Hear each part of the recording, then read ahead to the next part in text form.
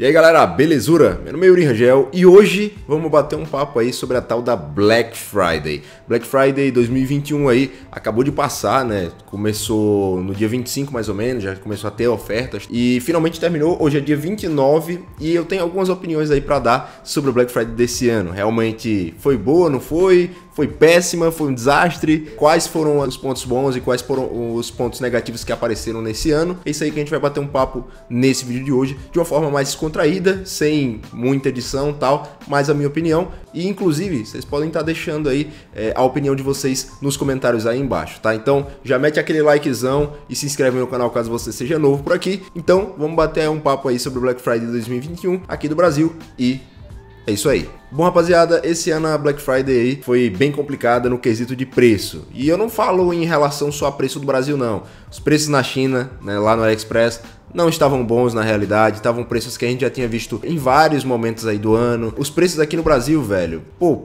nada, velho, de bom assim, tipo, que você fica, caraca, olha esse preço aqui, comprar, comprar, comprar. Você não ficava assim, tá ligado? Era aquela, aquela parada que, tipo, ah, o preço tá ok ou o preço não tá bom. É simples. Ou o preço tava ok ou o preço não tá bom.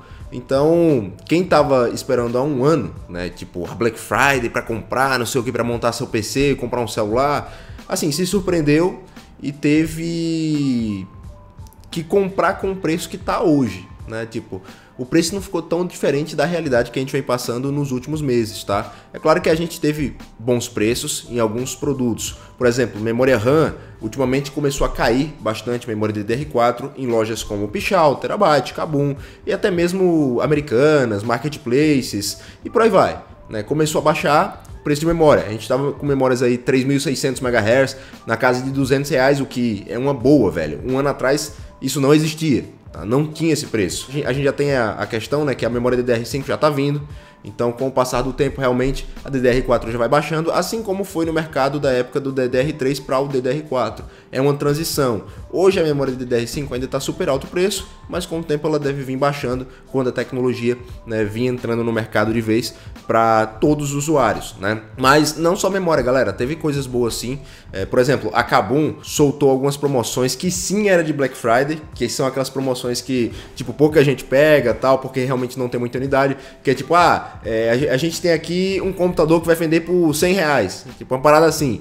Essas promoções são de verdade? Eu não sei. Acredito que seja, né? Porque, tipo, você clicava no bagulho de comprar e, tipo, já parecia que estava esgotado. Mas imagina que seja lá, sei lá, 50 mil pessoas tentando comprar um negócio de 25 unidades. Então, é de se imaginar que esgote ali em coisa de um segundo. Na verdade, seja sorte, né? A pessoa que pega um produto como esse. Pra vocês terem ideia, galera, apareceu um i9 lá na Kabum por 630 reais. 630 reais. Vou pedir pro editor colocar a print aí. E, velho, tinha 25 unidades e o pessoal tava doido, velho. O pessoal tava louco para pegar isso aí. A gente cobriu através do grupo de oferta, o Yuri Indica. Teve gente que disse que pegou, mas não postou print nem nada, então não sei se isso aí realmente é verídico. Acredito que seja, porque acabou não ia colocar uma parada falsa.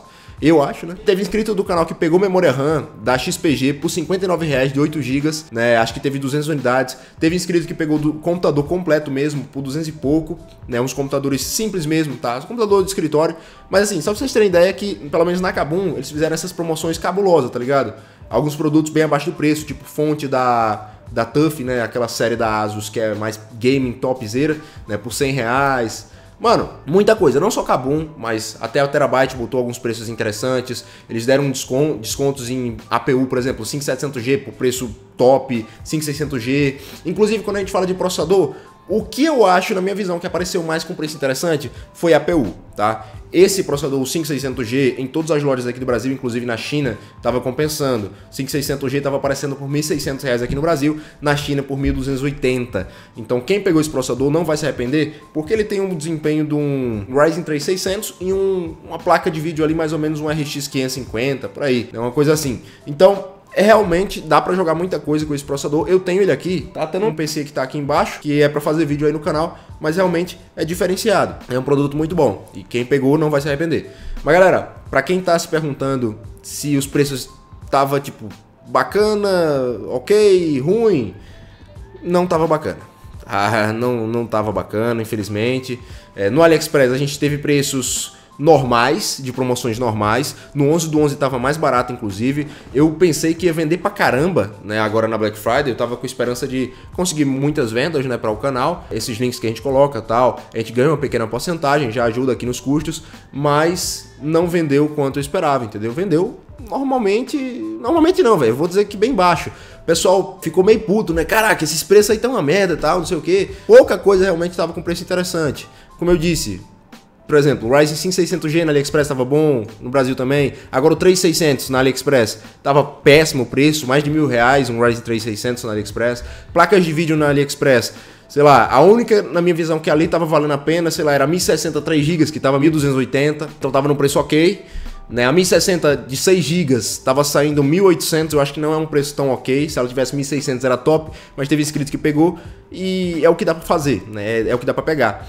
Mas de antemão, velho, não teve esse preço top lá no AliExpress. Muita gente pegou, muita gente ficou feliz, né, porque encontrou uma coisa ou outra. Eu, por exemplo, comprei algumas coisas, tá, galera? Comprei um notebook da Dell, um G15 com a RTX 3060 e um Ryzen 7, porque eu tava precisando de um notebook. Eu tô querendo sair do PC, né? Esse meu PC eu vou me desfazer dele, vou vender alguma coisa assim, vou ficar no notebook, porque agora eu vou estar fazendo algumas viagens e tal, então é melhor ter um PC fixo que seja um notebook que seja potente.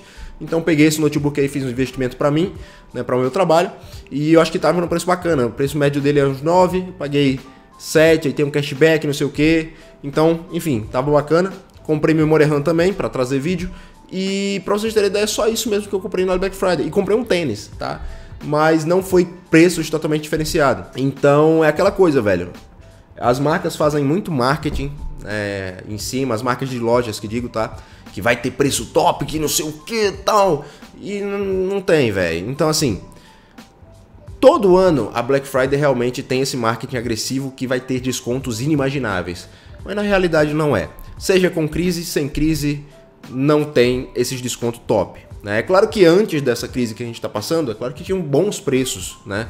preços bem melhores. Mas hoje, com a escassez que a gente tem de, de hardware, né? de componentes elétricos tal, os preços aumentam, é claro, toda essa crise. Então a gente entende, tá? Então o lojista em si não é culpado pelo preço que tá. Tá? Não é a Kabum, a Terabyte que, que tá aumentando o preço da placa de vídeo nem nada assim. É o momento que a gente está passando. Inclusive, eu percebi que até estoques de placas, velho, promoção de placa de vídeo, tava péssimo, velho.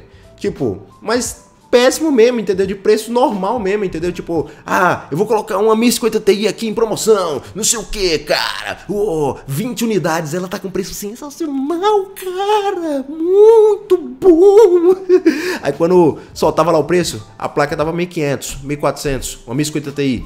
Né? Ah, mas o preço dela normal é 1600 desconto de 200 reais tal.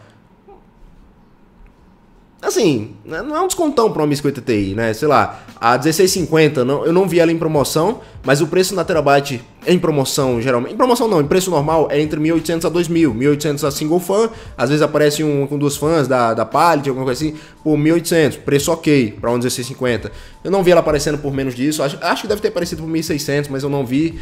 Teve RX é, 6600 na, na Kabum por 3.300, preço bem ok e tal. 3060 na faixa de 4.000 apareceu. Mas assim, não foram preços tops, não teve tipo uma coisa diferenciada no quesito de placa de vídeo em nenhuma loja, tá? Nenhuma loja. Realmente, acredito eu que pela questão, como eu disse, né, dos estoques de placa de vídeo não estarem bons, velho. Tá realmente bem escasso. Então, teve desconto, mas teve muito pouco. Então, galera, infelizmente, essa foi a Black Friday 2021. Na minha opinião, foi péssima mas a gente tem aí os fatores limitantes né, dos preços. Realmente não é a culpa em si do lojista, tá? A culpa é do momento que a gente vem passando. O preço está super alto, né? não só em placa de vídeo, mas dentre outras coisas, mas o pior mesmo é placa de vídeo, tá? A gente sempre espera que tenham descontos agressivos, que tenham queimas de estoque muito boa, mas infelizmente não tem. Na verdade é Black Friday. Se a gente for ver na prática, o que é? É o lojista tentando queimar o estoque de produto que tem demais ou que tá ali parado tal. Então a gente vê muito promoção de produto nada a ver, tipo um gabinete é, com preço bem abaixo, que não é aquelas coisas todas tal, mas tá barato, você compra, por aí vai. Né? Então é mais para queimar o estoque que os caras têm, para entrar 2022 com o pé direito e com um estoque super novo, né? O que é mais atrativo. Até se eu fosse um comerciante, é, essa seria a minha lógica. O, a Black Friday eu colocaria é, os preços em produtos que a galera quer mesmo tal, e também produtos que estão parados no meu estoque. Era isso que eu faria. Então, correto fazer isso. Mas enfim, de fato não foi bom. Infelizmente, Black Friday 2021 não tá bacana. Vamos esperar 2022 para ver se ela vai ser bacana.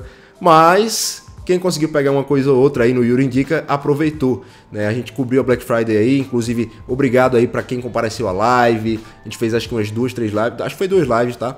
É, a gente ficou mandando oferta lá no Yuri Indica, galera em peso, galera doida, porra, cadê os preços, não sei o que, preço top, galera sempre fortalecendo lá, comprando nos links do canal, e vocês não sabem o quanto eu sou grato por isso, ajuda aqui a pagar as contas, a pagar essas luzes aqui que, que tá aqui, essa câmera que tá gravando e tal, ao editor que tá editando, então tem toda uma logística aqui por trás também desses vídeos, e vocês estão sempre por trás aí ajudando, até comprando um produtinho aí no link do canal, beleza, galera? Então tamo junto, se inscreve no canal, deixa a sua opinião aí nos comentários aí sobre o que você achou, né, desse Black Friday 2021 aí do AliExpress e também Brasil, tá? É isso aí, galera. Deixa o like e até a próxima.